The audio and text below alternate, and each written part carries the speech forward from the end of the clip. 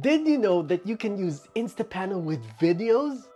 What's the most important accessory when you're using the Insta360 One X2 for vlogging? I'd say it's even more important for vlogging than a selfie stick. Here are 15 Insta360 One X2 tips and tricks you should know. Do you like the new Instapano mode?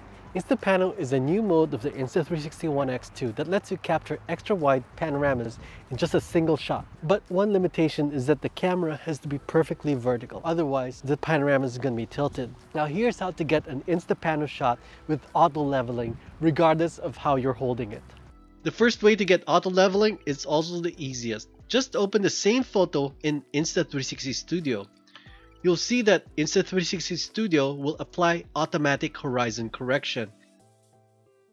If it doesn't, make sure to check this box for stabilization. The second way is to take a regular 360 photo and load it in the app. The app can often give you an option to export the 360 photo as an Insta pano. Then all you have to do is share it and you're done. But what if you don't get an Insta pano option? In that case, you can use the third option. So first, take a regular 360 photo, then import that photo into your Insta360 app. In the app, choose Flow State Stabilization to level your photo automatically. Next, export your photo as a 360 photo, not as a reframed photo. Then it'll show up in your phone's gallery. In your phone's gallery, crop the photo to the size that you want. And presto, you have an Instapano photo that's been auto-leveled now, what about for videos? Is there a way to use Instapano for videos? Now, normally you cannot use Instapano for videos, but using this same method, you can actually turn any video into an Instapano video. Yes, we'll, we'll also have horizon leveling. Here's how to do it. So here's how to create an Instapano video. First, capture a 360 video. Next, export it as a regular 360 video, not as a reframed video. After exporting, it's going to show up in your gallery. Next, tap on Edit and then tap on Crop. Next, crop the video.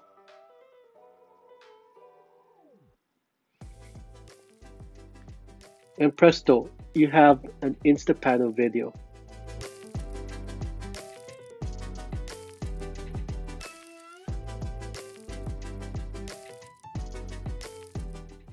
You can use this technique with any kind of video, even a time-lapse video.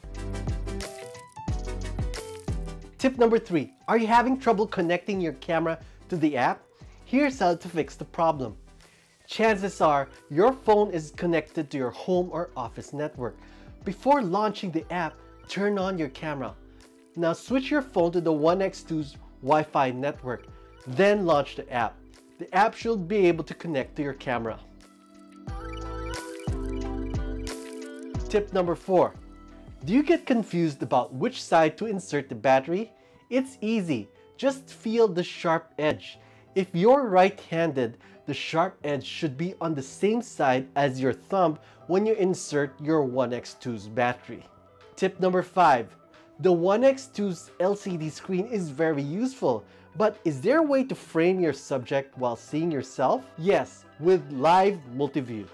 When recording a video, just tap on the multi-view icon. You'll be able to see both your subject and yourself at the same time.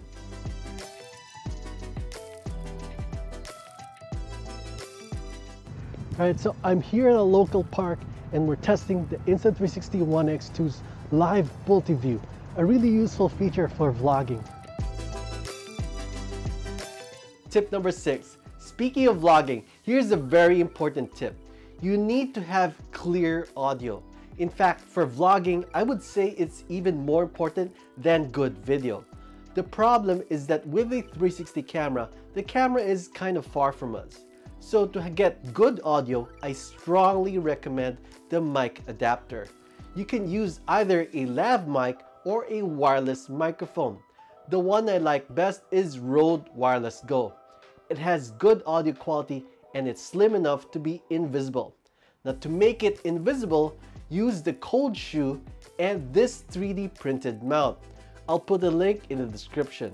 Now, Rode Wireless Go is good, but it's kind of expensive. This one I'm not so fond of because the sound is pretty good, but it uses a uh, different frequency and it's more prone to interference. I've had some footage where there were like gaps in the sound. This is a single roll pan head. I can that because of interference, so I can't rely on this one. This one is pretty good. It's what I'm using right now. It's what you're hearing right now. It's very similar to Rode Wireless Go. Um, the difference is that it's not as good as Rode Wireless Go in uh, eliminating ambient noise. Like so you'll hear more of the background noise if it's a noisy environment. But it's kind of okay and it's definitely a lot cheaper than Rode Wireless Go. Tip number seven. Do you find that the One X2 is a little bit loud? On the other hand, you can't turn off the beeping because it's too useful. So here's how to reduce the sound for those times when you need to be a little more discreet. So this is the speaker. You can cover it and when you turn it on, it will make the sound much less intrusive. I didn't even hear it. Tip number eight. Now here's a video tip. Now let's say you're shooting a video with your One X2 and you're pointing it at different objects.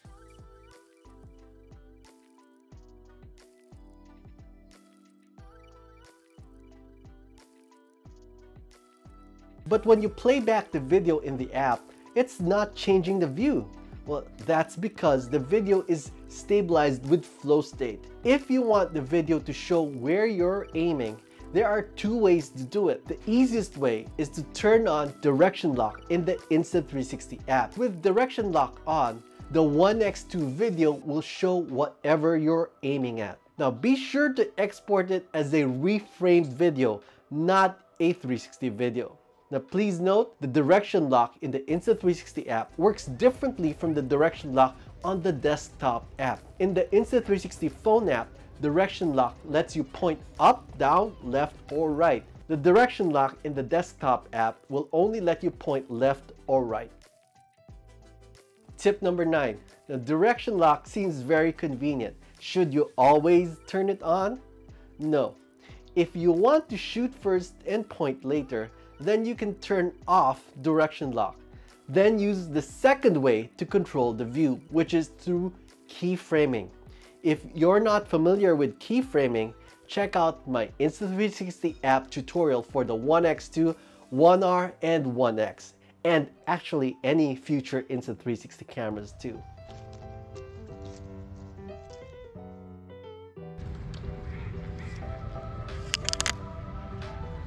Now the Insta360 One X2 has a really cool non-360 mode called wide mode. And in this mode, you can have 360 horizon leveling. Here's how to do it. So first let's switch to wide mode. So tap on the 360 symbol, it toggles wide mode. Now wide mode has two settings. If you tap on this, you'll see there's basic and there's pro. So the default setting is basic, which means that you'll be able to use the video straight out of the camera right away and it's gonna have stabilization. You don't have to do any kind of processing. So here I am in basic mode. Now it's going to be stabilized. See, I can sh shake it a little bit, but the stabilization is not super robust. Like if I move it much, like if I move it too much, you can see there's going to be some vibration. Now Pro mode on the other hand means that you'll have better stabilization. In fact, you'll have 360 horizon leveling.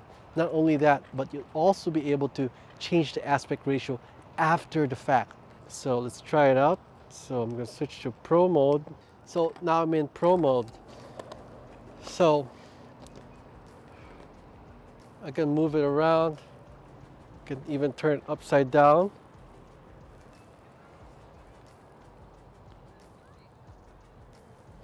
And it's still going to be stabilized. But to get better stabilization from Pro mode, you will need to process the video either in the smartphone app or in the Insta360 Studio desktop app. Tip number 11. Here's a faster way to view your photos and videos. From the main screen, we swipe right to view our photos and videos. Now you can tap on this icon in the bottom to reveal thumbnails. That way you can review four photos and videos at the same time. Now here's another tip. The shape of the thumbnail tells you what kind of photo or video it is.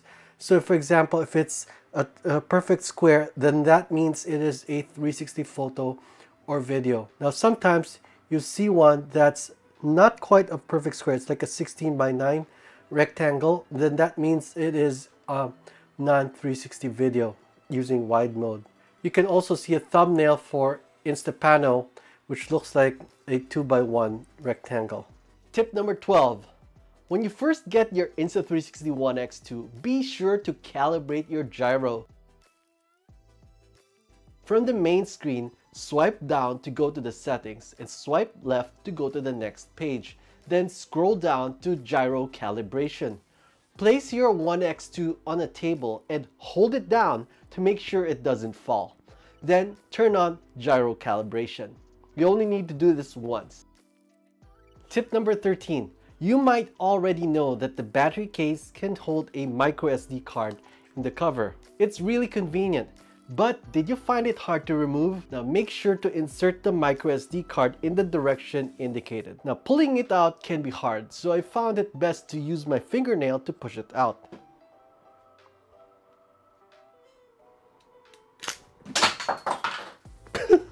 Speaking of dual purpose, here's a tip. The lens cap for the Insta360 One X can also be used for the One X2.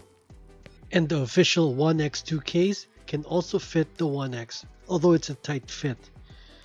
And the neoprene case for the One X also fits the One X2. Tip number 15. Don't miss critical moments. Turn on quick capture. From the main screen, swipe down to reveal the settings. Look for the quick capture icon that looks like a rocket. With quick capture activated, there's no need to turn on your camera. Just press the shutter and it's gonna turn on and start recording automatically. And when you're done recording, just press the shutter and it's gonna turn off automatically. For more tips for your 360 cameras, hit subscribe. I'll see you in 360.